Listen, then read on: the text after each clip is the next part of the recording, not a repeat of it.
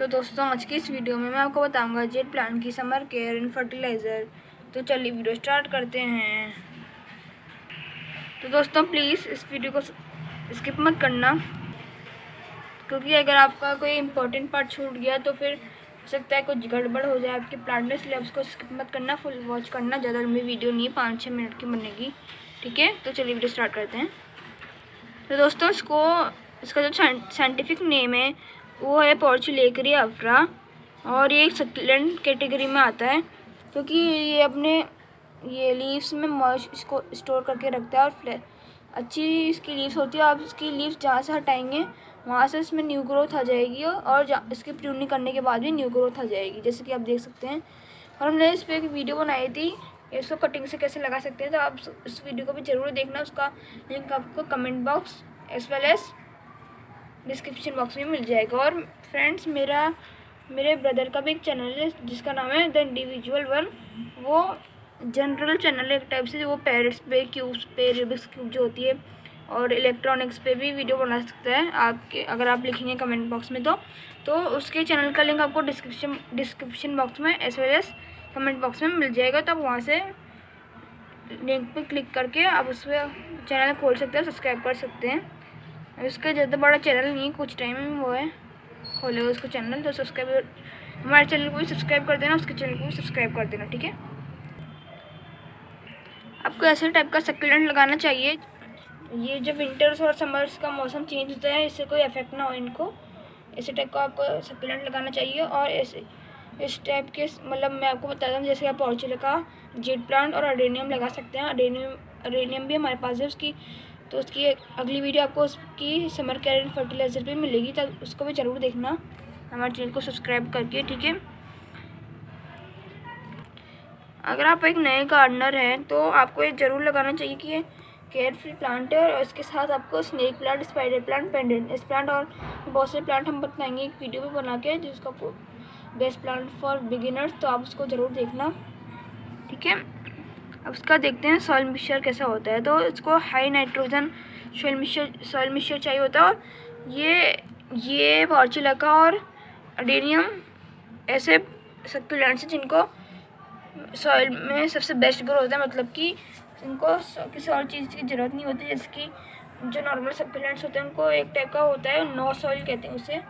उसमें soil soil नहीं रहती, दूसरे रहते हैं कंपोनेंट्स लेकिन कुछ टाइप, कुछ सकुलेंट्स ऐसे होते हैं जिनको सॉइल में अच्छे ग्रो हो सकते हैं तो आप ऐसे टाइप के सकुलेंट्स लगाएँ जेट प्लांट इसके लिए बेस्ट है। ये एक लीफी प्लांट है तो इसके लिए आपको हाई नाइट्रोजन सॉइल चाहिए और इसका इसमें आपको काउडन कंपोस्ट डालनी है या फिर वर्मी कंपोस्ट डाल सकते हैं। थर्टी परसेंट सैंड डालनी थर्टी परसेंट और गार्डन सॉइल भी आप thirty five to forty percent डाल सकते हैं। सैंड इसलिए वेल ड्रेन सॉइल के लिए। मेरे को पहले बता रखा इसका मतलब क्या होता है? वेल रन सोल का मतलब आपने पानी डाला और नीचे से निकल गया। इतना अच्छा आपका सिस्टम होना चाहिए। पा, पानी डाला और नीचे से निकल गया।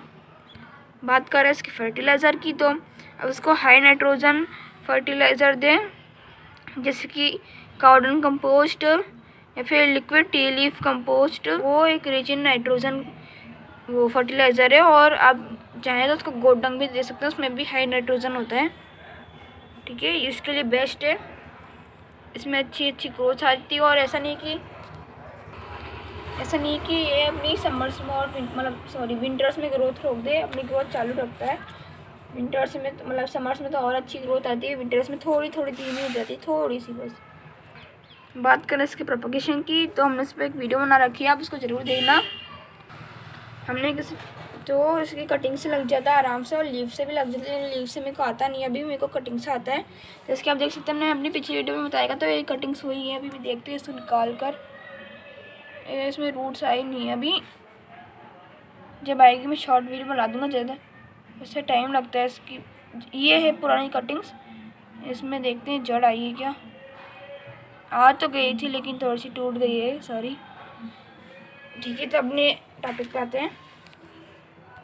और कटिंग जहाँ पे भी आप लगाएँगे, वहाँ पे ओवर वाटरिंग नहीं करनी, क्योंकि उससे क्या होता है, आपकी कटिंग की जो स्टेम है वो गल सकती है।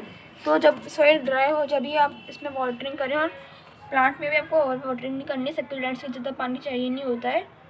तो आप इसको कम कम से कम पानी दें, जब इसकी जो वाली साइड है एक से दो इंच तक सूख जाए, ठीक है? यहाँ पे भी हमने कटिंग लगाई थी, ये रही। इसमें भी कोई न्यू ग्रोथ आई नहीं है कटिंग लगाने के बाद उसको वापस लगा देते हैं।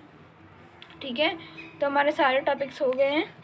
अगर आपको इसके बारे में कुछ और भी जानना है तो आप कमेंट बॉक्स में लिख सकते हैं। मैं सारे कमेंट्स पढ़ता हूँ। ठीक है? तो हमारी वीडियो पूरी हो चुकी है। सब कुछ हमने बता दिया है।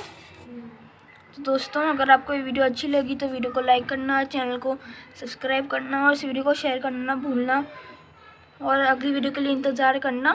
तब तक के लिए bye take care happy gardening